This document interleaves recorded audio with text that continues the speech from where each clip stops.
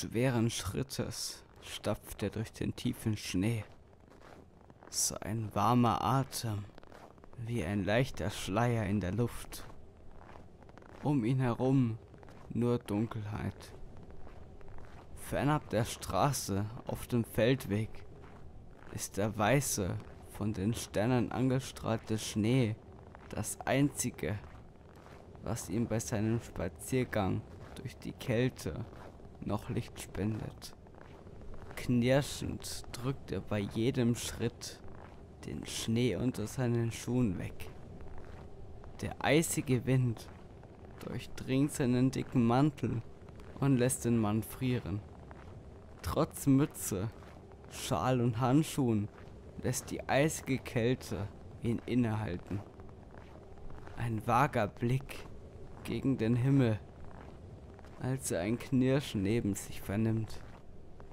Mit klopfendem Herzen sieht er sich um. Um ihn herum nichts als weiße Erde, die mit der Dunkelheit verschmilzt. Ein letzter Blick zum klaren Sternenhimmel, ehe er sich umdreht und sich auf den Heimweg begibt. Von der Dunkelheit begleitet, überquert er erneut die weiße Decke des Feldes. Der nachgebende Schnee unter seinen Schuhen ist wieder deutlich zu hören. Skeptisch bleibt er stehen. Das Knirschen seiner schweren Schritte verstummt. Doch der Wind trägt ein Geräusch mit sich zu seinem Ohr. Er denkt, ein leises Tippeln hinter sich gehört zu haben. Beim Blick nach hinten jedoch nichts als enttäuschende Leere. Verwundert setzt er seinen Weg fort mit Vorfreude auf das Licht seines Zimmers und das warme Bett. Laut klimpernd lässt er seinen Schlüssel im Schloss drehen und drückt die Türe auf. Mit einem tiefen Seufzen legt er Mütze, Schal und Handschuhe auf die Kommode. Erleichtert atmet er auf beim Ablegen des schweren Mantels. Leichtfüßig stolpert er die Treppe hinauf Müde taumelt er den hell erleuchteten Flur entlang ins Bad. Kelchförmig hält er die Hände unter dem Wasserstrahl und wäscht sich schnell das Gesicht.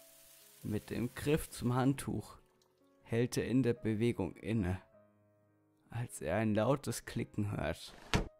Hallo? Rufend fragt er, jemand? ob jemand im Haus sei und schmunzelt über sich selbst bei dem Gedanken, dass er doch alleine lebe.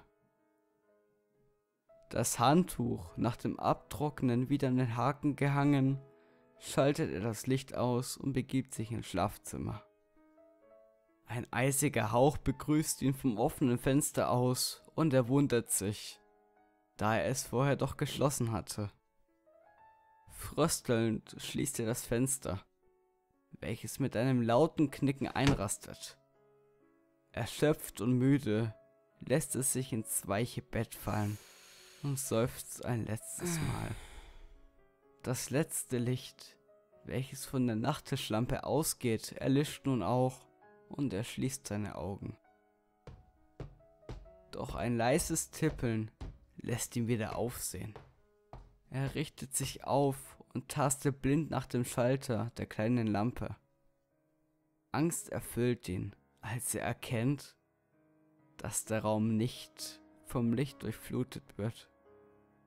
Das Tippeln ertönt erneut. Angestrengt starrt er in den Raum. Seine Augen sind nicht fähig, etwas zu erkennen. Ängstlich tastet er nach der Schublade des Nachttisches. Mit einem kräftigen Ruck zieht er diese hervor und bergt eine kleine silberne Taschenlampe. Hastig dreht er diese in seinen Händen, bis er den Schalter findet. Durch das Aufblitzen des Lichtes schließt er widerwillig die Augen. Mit zusammengekniffenen Augen glaubt er, einen großen Schatten zu sehen. Er hält den Schein der Lampe auf den Schatten, doch von diesem keine Spur. Ein lautes Knacken ertönt im Flur und er sitzt mit weit aufgerissenen Augen auf der Matratze. Zitternd richtet er sich auf und schleicht vorsichtig zur Türe. Dunkelheit durchflutet das Haus, welches nun von dem kleinen Schein der Taschenlampe durchbrochen wird. Langsam setzt er einen Fuß vor den anderen und späht in den Flur. Am Rande des Lichtkegels glaubt er etwas Dunkles die Treppe hinunterschweben zu sehen. Er richtet das Licht auf die Treppe, doch dort ist nur kalte Leere. Trotz der Angst, die in ihm aufsteigt, beschließt er hinunterzugehen. Ein lautes Poltern in der Küche lässt ihn zusammenzucken. Durch seine Neugierde getrieben, nähert er sich dem Kücheneingang. Ein lautes Knurren lässt ihn jedoch innehalten. Mit zittriger Hand lässt er den Lichtkegel über die Einrichtung der Küche tanzen. Für einen kurzen Augenblick kann er eine Reihe von scharfen Spitzen aufblitzen sehen und ein weiteres Knurren ertönt. Vor Schreck lässt er die Taschenlampe fallen, welches ihr Licht auf etwas Dunkles in der Mitte des Raumes wirft. Ehe er es sehen konnte, was sich dort in der Küche befindet, sprintet er hinauf in sein Schlafzimmer. Im Schutz der Dunkelheit reißt er die Schranktüre auf und scheiße, quetscht scheiße, sich hinter scheiße, die Jacken und Mäntel. Er versucht die Türe schnell zu schließen, doch seine Füße sind im Weg, sodass ein winziger Spalt offen bleibt. Er hält seinen Atem an und lauscht den Geräuschen. Ein Stapfen lässt die alte Treppe knarren. Ein Stapfen mit einem reißenden Unterton, als würden Klingen die Tapete schneiden. Kalter Angstschweiß läuft ihm am Rücken hinunter und er hört die Geräusche näher kommen. Mit angehaltenem Atem versucht er durch den kleinen Spalt einen Blick in den Raum zu werfen.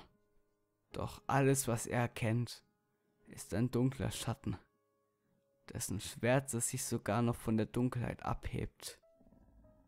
Nun ist alles um ihn herum in vollkommene Schwärze gehüllt. Ein Knurren ertönt und alles, was er sieht, ist ein weißer Augapfel, der ihn durch den Spalt hindurch tief in die Augen schaut.